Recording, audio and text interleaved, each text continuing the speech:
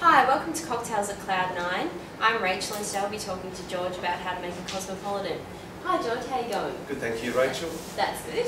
Um, now, it's one of my favourite cocktails. Um, I heard about it from Sex and the City and I was just wondering, is that how it was made famous? Well, in a way, yes. Um, it was actually firstly invented by a bartender in New York called Toby Cecchini, and later on um, it was tweaked a little bit and served up to Madonna in the Rainbow Room by uh, the King of Cocktails, Dale de Groff, and from there it became pretty famous when the paparazzi took a photo of it, and obviously when it came out in Sex and the City, it, it, it launched uh, all over the world, and all, uh, all women have wanted to drink it ever since. So, Okay, great. Would you want to show us how it's made? Yeah, for sure. Thank you. Well, the first thing we're going to do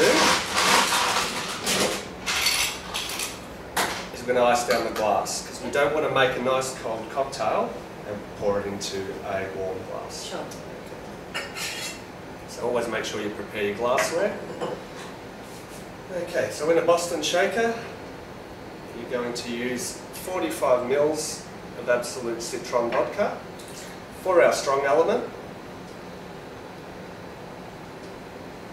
And it's a lemon flavoured, citrus flavoured vodka. A little bit of sweetness, Cointreau, delicious orange flavoured liqueur from France. Now we need to add a sour element to balance out the sweetness. So we're going to put some lime juice in. Sure. So why do you roll the lime first? Uh, the reason I roll the lime is I tend to get a lot more juice out of the lime if you roll it because it actually separates the membrane from the skin. So Okay. we want to try to get as much lime as we can out of, or as much juice as we can out of our limes because they are expensive. We're going to do 15 mils there.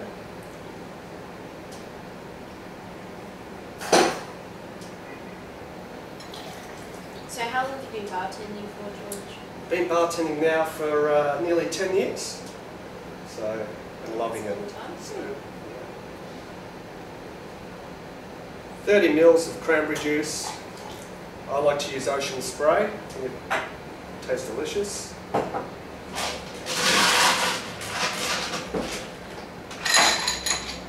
Nice. Give it a good shake.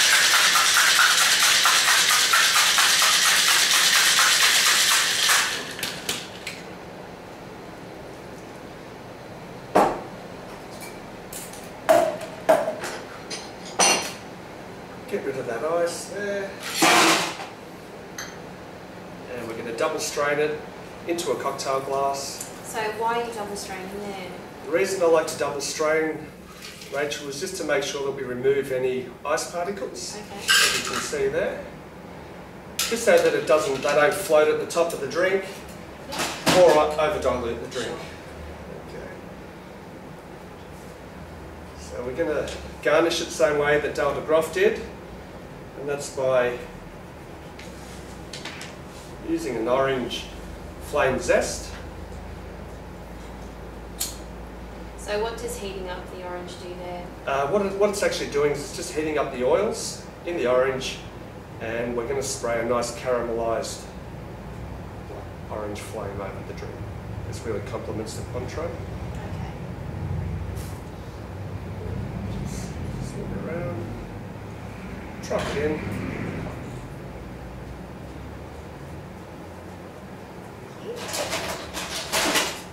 A little bit of fun there, most of the cocktail purists would laugh at, but I like to just put the straw on the side. Thank There you have the. Cosmopolitan. Thanks, George. I'll just taste test it. Delicious. Thank you, George. And that's all for Cocktails on Cloud Nine today. We'll see you next time. Thank you.